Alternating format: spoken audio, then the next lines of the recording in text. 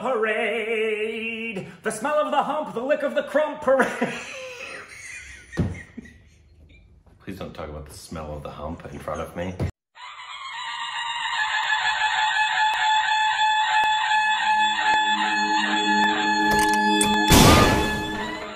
Hey, welcome back to our Stupid Reactions Idiots. I'm Korbin. I'm Rick. And you can follow us on Instagram, and Twitter. Juicy content. So juicy. You know, I'm on here when I do that. Twitter account.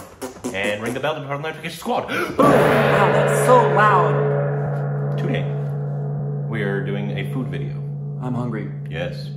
Uh, but this one is uh, different. Same guy. So the best food ever review show, which we've seen a few of his. We love it. Yep, we like uh, it. But this one's called How India Cooks Lunch for 50,000 People for Free. What? The Miracle in Punjab, India. What? I think we've seen a video uh, where they feed a bunch of people every single day.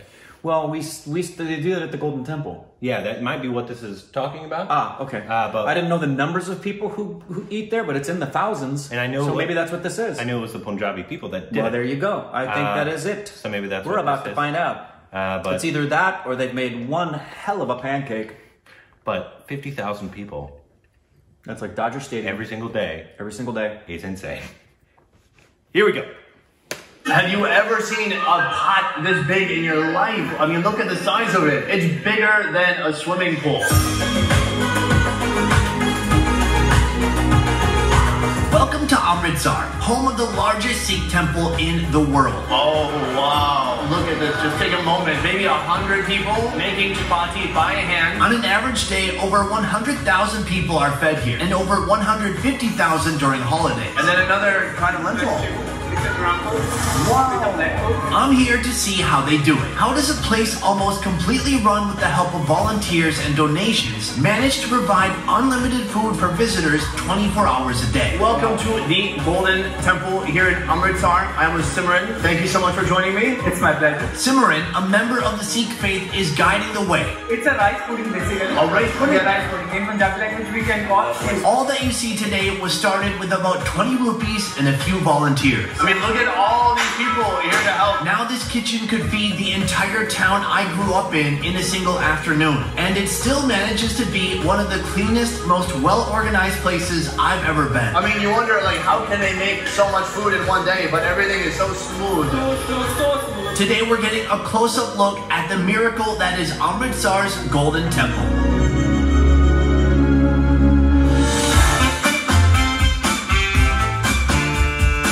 Are headed to the Sikh temple, but first we need to get our head covering. So we are headed back ask here about right that. I was wondering right why he kind was of like wearing a that. turban shop. And I Yes, assumed it's it. turban shop which helps you to tie up to cover up your head. All those who enter the temple must wear a head covering. It can be Oh. as ah. simple as a handkerchief or a four meter long turban. This is the turban store that we've come to. Basically, Sikh represent this color because it's an orange color. When you go to the Saffron. Golden Temple or any other temple, you just can find out the flag which is flying here. It's also of same this color. It represents the color of Sikh community. Do you wrap your own turban? Yes. I mean, if there's anyone you're gonna have tie a turban on your head, this guy. Put it in your mouth and put, put very, very hard down off your teeth. The king is getting ready. Mm-hmm. Can I talk yet?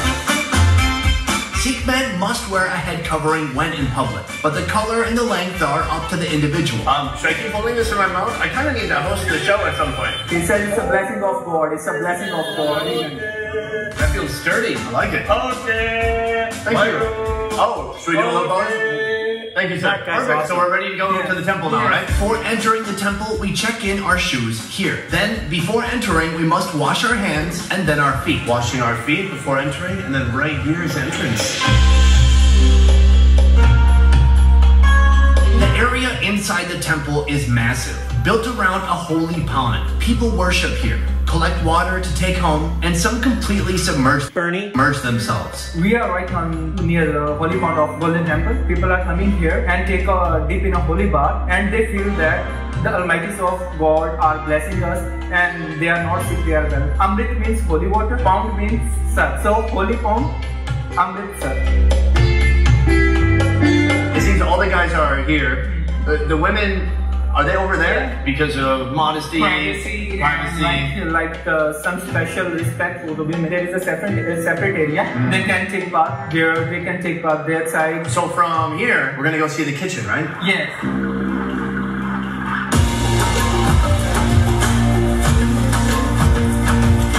Right now we're headed to the kitchen. Uh, they have Langar going on right now, the meal. I mean, look at all these dishes. There's already thousands of bowls. They are the volunteers who are just uh, cutting vegetables. All volunteers here. This is literally uh, a hundred volunteers here. Hello. Here they're peeling some garlic right here as all these people work together to make this meal happen.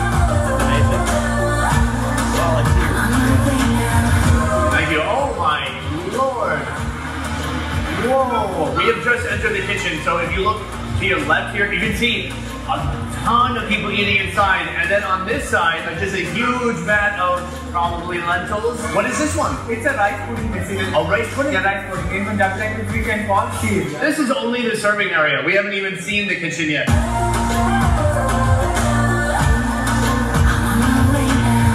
Wow. Immediately what I see, all this wood right here on this side. Here, they're stoking the flame. They have embers going and, and these giant pots. It's a giant pot. Underneath, they have the fire for whatever's cooking inside. But this is so huge. Hello, sir.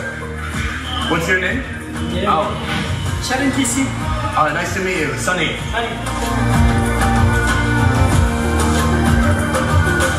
So here, I mean, I've never seen cooking vessel this big. It's bigger than a swimming pool. They have a faucet turned on, and even that would probably take an hour to fill this whole thing. They cook daily rice putting in this bowl, 2,600 kg. It's just, it's more than I can comprehend. Yes. It's more than I could eat in a year. Yes. They're cleaning a pot that's already done cooking. Huge pot right here. What is this one? It's uh, called dal in Punjabi language. Dal pulses. Gram pulse and black pulse are cooking together. They are not camera. And we just want to hit the bottom.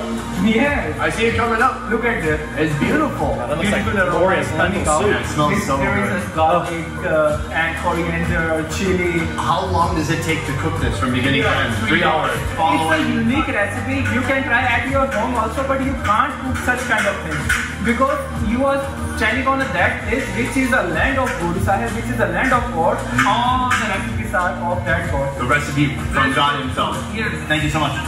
Such an honor to learn more. Thank you. Right now we're headed to where they make the chapati by hand. Maybe we can help them out a little bit. Volunteer? Oh wow. I mean, look at this. Just take a moment. Maybe a hundred people all coming here to help together, making chapati by hand so that there's enough food for the people who come here to eat. Let's go say hi. Each station, it has a kind of dough person. And after that, uh, going forward to another ladies. They can just uh, put a dry flour on it. And after that, she is rolling and make the chapatis and put one by upon another. Can we sit down somewhere and make some? Wish I could smell it. We got a rolling pin right here. We've got our dough, and we can roll some of these. Let's do this first of all. Oh yeah. Make it Please do perfect. Well, hold on, my balls is not We are bad. doing good. So I want to ask a little bit more about the Sikh faith, people of the Sikh faith. I understand that there are certain things that a Sikh person must wear. Can you walk me through some of those? One of them is a turban. Yes, we have to wear a kanga. It's a wooden comb. It's a wooden comb on our head. Another thing we have to wear kada. about This that. bangle is called kada. I heard about like always having a blade or a knife. Yes, Is that true? It's, it's called kirpa. And It's you don't take it out? safety purpose that if somebody is trying to harm you, na, you just have to protect yourself. But we are not ordered to misuse it. Not everybody is doing that, just some people. Not some people, many people. Many people. Many people. Do you think he has a blade? Yeah. Uh, Uncle Kirpan, पाई अब अमृत शक्या तो सिर्फ़ look at there. To see सिर्फ़ Dikhana. Nice. Oh. Look at there. Yeah? And so does she. दिखाना. Nice. पाली तुलसी भी शक्या na. Amrit dikhana. Look at there. Look at there. Maximum number of people are wearing that thing I I didn't know if this was like an older tradition that wasn't so common anymore, but that was a bit of a surprise. That's awesome. That is awesome. I'm a little scared to screw this up now. Everyone here has got a weapon, but how is this? yes it's a puppet. but Oh, God. Thank God. you just have to roll more Roll because okay. Josh, I apologize. I'm sorry. I'm gonna get a flatter. Sorry, everyone.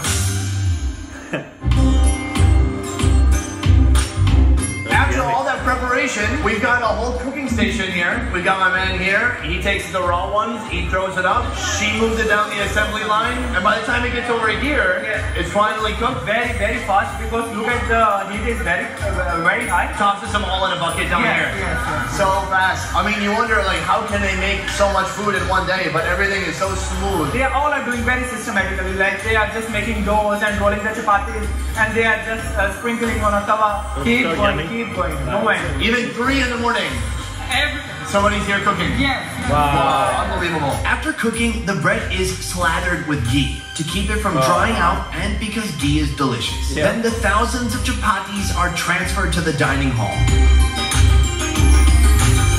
The real miracle of this place isn't the unfathomable amounts of food they're producing each day. It's the principles upheld within these walls. So we are in front of free kitchen, like called Langar Hall, where all people are coming and sit together. There is no such kind of partiality like you are a Hindu, you are a Sikh, you are a Muslim. There is nothing. No matter your religion, income, gender, nationality, as long as you are a human with a beating heart, you may come here, sit shoulder to shoulder with others, and enjoy this meal at no cost. You all are foreign human concept. beings. There is no hmm. any partiality. Now, after having the privilege of seeing how this food is made, we get to experience it for ourselves.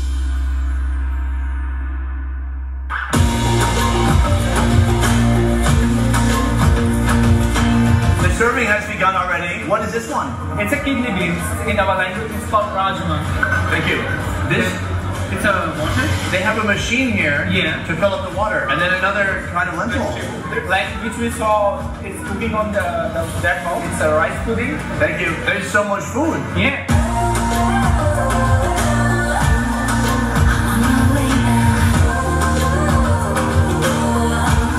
Is there any limit to what to what you can eat? No, no limit. It depends on your stomach. It depends on how much hungry you are. Should we try some? You Yes. don't just get one portion, they get a big, you can go back and get more if you oh, that looks great. Did he just say that?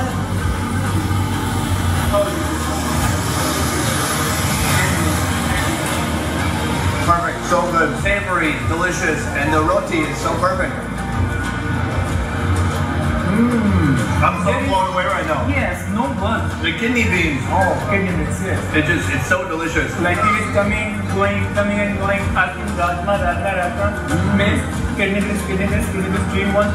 There's such like a beautiful sense of community in here. Yes. Wow. Look at around all kind of Kaisa cities. All are sitting together. There is one passion. That's called a Sikh religion. I can tell you, we need more of this in the world. I came here for the experience, Yeah. but also enjoy some fabulous food. After dinner, we drop off our trays, and that's when it really hits you. Look at all these people here to help. Witnessing firsthand the wide scale, selfless contributions that go into making this kitchen possible. An army of volunteers collecting trays so rapidly it creates a thunderous roar. can hear the thunderous noise in here. All the people in here are volunteers helping out. Check it out. Lines of men and women sending trays down six consecutive washing stations until they're carefully stacked and brought back to the entrance, ready to serve another meal.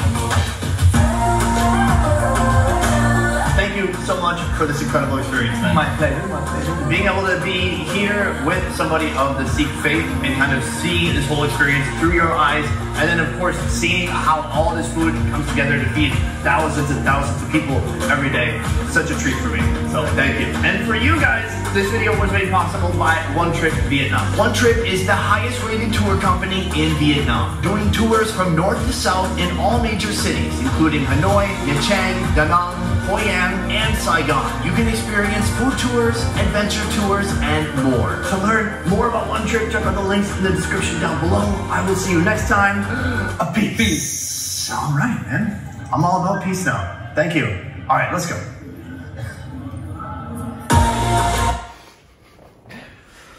Wow, he's he. I like him a lot. I like him I a like lot, his too. videos. He seems like a genuine person. Yep. He obviously we've seen his his food videos and and he does really well with those. But also the fact that he just wants to learn. Mm-hmm. And I know he doesn't just stick to India. He, he's gone all over the world. Yeah. And and done what he's done. But that what they do in India every single day, and not out of because there's shelters here and there's especially during Thanksgiving. Thanksgiving, It's Christmas a big time. Yeah, big thing here in LA and all over the United States on Thanksgiving is a lot of people will start their Thanksgiving morning off going to shelters and feeding the homeless. That's a big thing in America on Yeah. Thanksgiving Day. Um, and so, what makes this so insane is the amount of people every single Yeah. day that Yeah. volunteer their time. Yeah. Yeah. Uh, we, we do it once a year on Thanksgiving. Yeah, to make ourselves feel good. They do it just Every because day. they love And people of and all it- it- walks.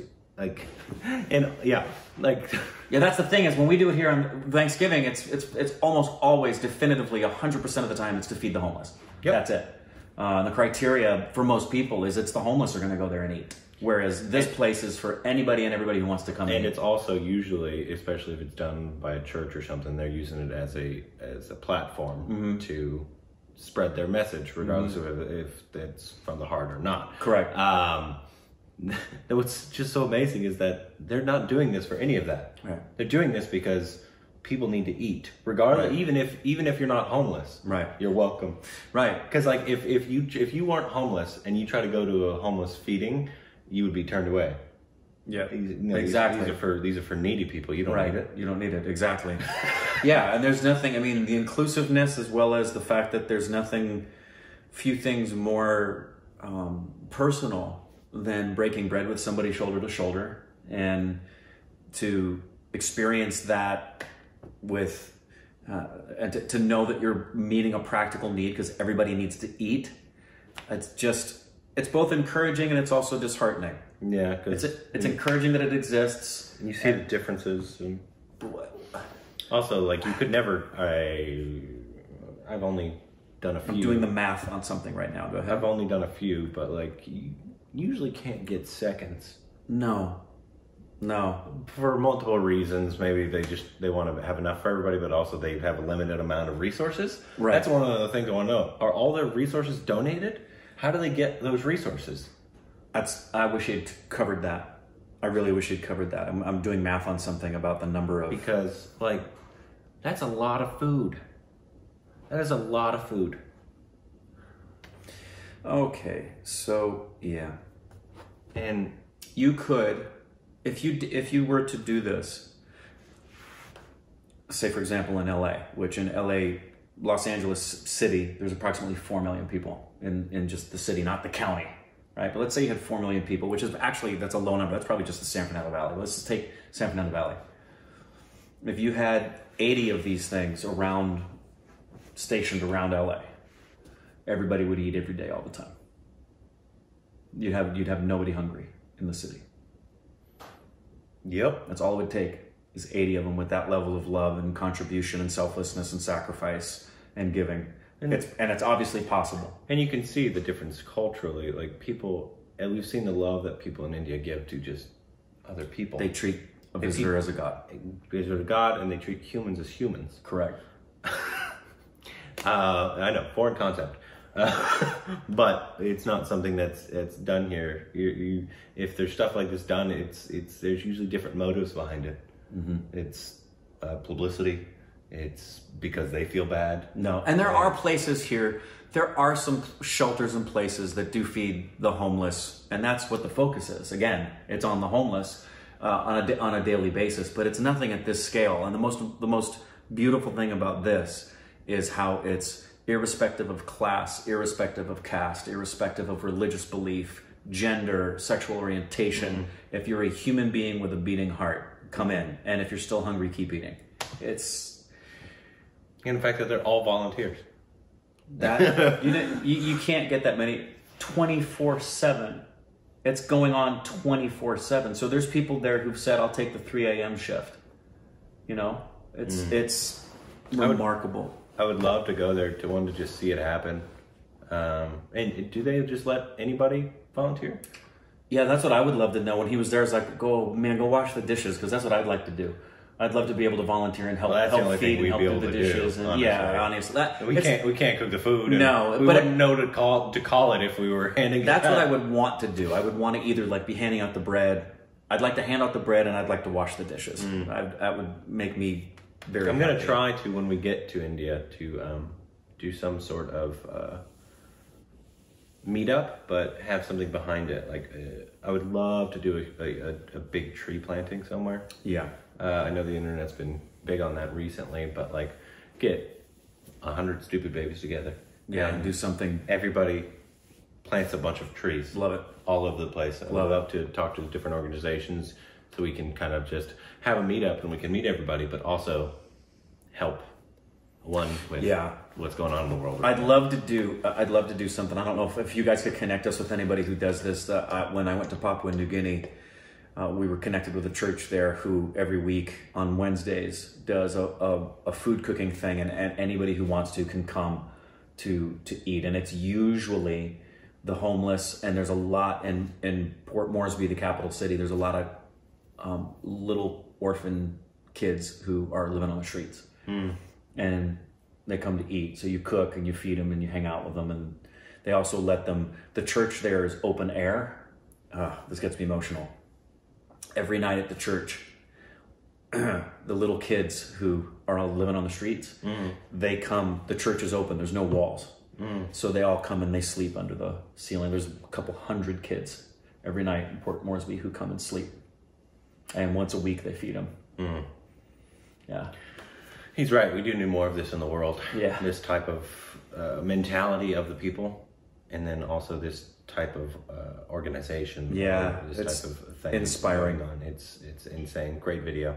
Uh, love it. Yeah, and I, the the six man. I just the more we learn about them, the more I'm in love with them. They're amazing people. Amazing people.